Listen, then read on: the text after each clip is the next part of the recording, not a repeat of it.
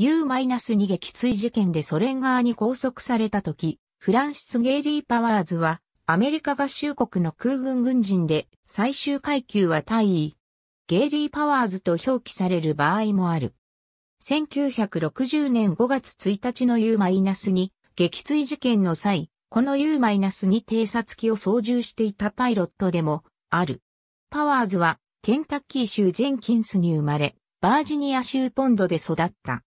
テネシー州のミリガン大学を卒業後、1950年に空軍に入隊、ジョージア州ターナー空軍基地第468戦略戦闘飛行大隊に所属し海 -84 のパイロットとなった。後に朝鮮戦争に従軍し、数々の戦果を挙げた。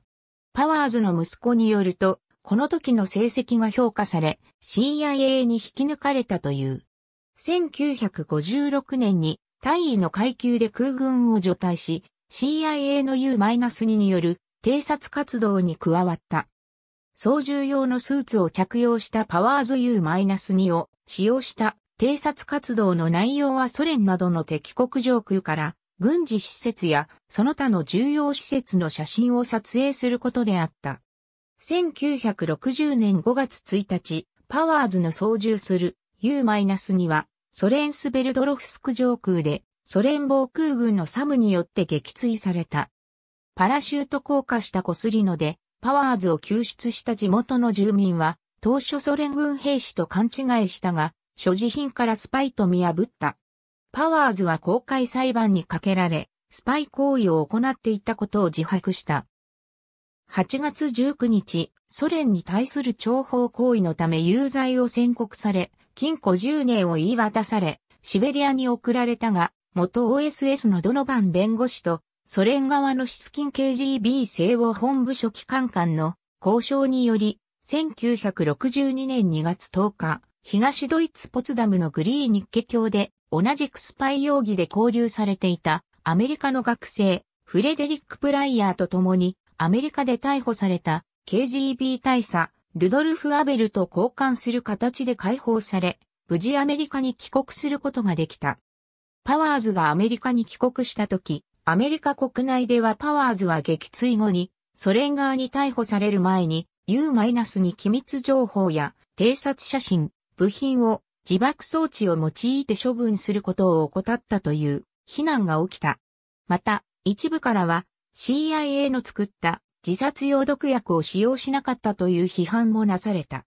帰国後に撃墜から交流中の出来事について CIA、ロッキード社、空軍から事情聴取を受けた後、1962年3月6日、上院軍事委員会に出頭した。上院軍事委員会はパワーズは重要な機密は一切ソ連側に漏らしていないと判断した。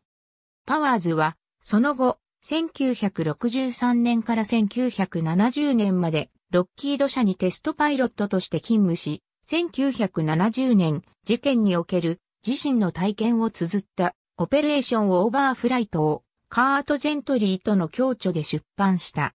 この本の中でパワーズは、かつてソ連に一時亡命したリー・ハーベイ・オズワルドが、ソ連側に渡したレーダー情報が U-2 撃墜事件につながったと指摘している。1977年8月1日、パワーズはロサンゼルスで KNBC テレビのレポーターとしてヘリコプターに搭乗中墜落死した。事故の原因は燃料系の故障であった。遺体はアーリントン国立墓地に埋葬された。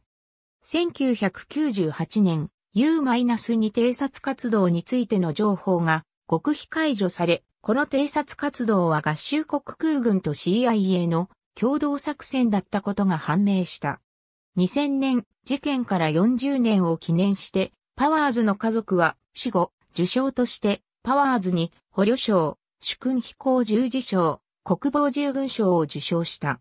今もなお、アメリカ国内では、パワーズは逮捕時自殺すべきであったとの世論も根強くある。しかし、高度2万メートルで登場中にミサイルに撃墜された事例は他になく、また通常脱出装置が作動しても生還できないケースも多いことから自爆操作や自殺が可能であったかなどについては疑問が多い。ありがとうございます。